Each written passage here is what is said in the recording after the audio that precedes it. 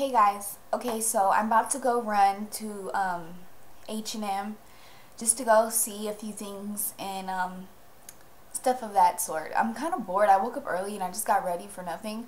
So I was like, hmm, might as well go to Town Square. So basically what I made this video for is um, an outfit of the day. It's um, pretty chilly outside. And the other day when I went to Forever 21, I bought these really super cute um, grayish kind of blue leggings that I just love. Um, I'm going to wear them today with some knee-high boots, the ones I showed you guys in my last video. I love these things.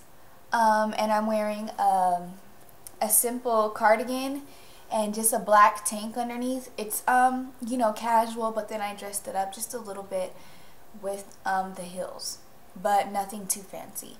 Um, accessories, I don't really have much on today, just because I said, like, I'm not trying to go all out.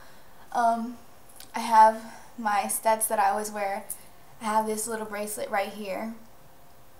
Um, you can't really see it, like, that well in the camera, but it's, um, it's really pretty. That's all I know. And then I have this ring on this from Forever 21. Okay, so I'm just to stand back and let you guys see the whole outfit. And, um, then I'll tell you where everything's from, the clothes wise. Okay. So this is what it looks like. Um, the boots, leggings, a simple cardigan. I mean, you could even pull the sleeves up like this, you know, if you wanted to make it a little bit more, I don't know, but I like the sleeves down. And, um, cardigan, I mean, you can unbutton it, you know, wear it open, whatever. That's my outfit of the day. I got everything for reals from Forever 21 except for the shoes that I got from Chinese Laundry. Okay, well that's going to be all today, you guys. Bye. Thank you for watching.